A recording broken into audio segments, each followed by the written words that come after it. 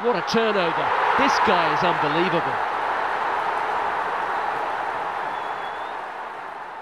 Welcome back to Green Flag at the breakdown. This time around, we're at Sandy Park, home of the Exeter Chiefs. And first up, we're going to meet two big Zimbabwean units who, interestingly and topically, also qualify for England. So, boys, you both found your way to the southwest of England, beautiful southwest of England, via Zimbabwe. So, first of all, Don, tell us about your journey. How did you end up from being born out there to playing here? Thanks to Bob Mugabe, we had to relocate to South Africa. In South Africa, we played winter rugby school, ended up going to Ca- uh, University of Cape Town, played rugby there, made my way up to uh, Stormers, from there to Chiefs, and that's that's basically been my journey to yeah. And Dave, you came over a bit earlier than that, didn't you? When I was 14, I moved across and went straight down to Ivybridge, just down the road. My last year of school, I started coming up to train, and that was the that was the year we got promoted. So So you can Yeah. lay claim you were part of that. uh, try and hang on to that. Yeah. The Stormers are a top super club. Exeter Chiefs are certainly a top one of the top Premiership clubs.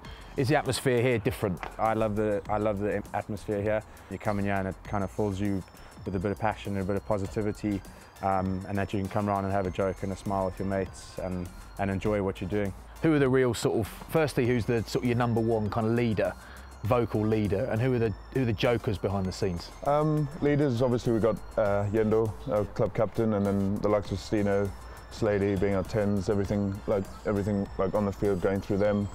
Jokers, I think. Dicky. Yeah, Dickie. Not who not who thinks they're funny, who's Yeah. actually funny. Is he funny? Yeah, Uh, he is pretty funny. Kai. Kai. Kai's Horsley. funny. Oh, he's yeah. Well, he'll, he'll keep saying something until some, Uh, right, okay, it's different. He's relentless. Yeah, I've known Kai a long time. He's never made me laugh.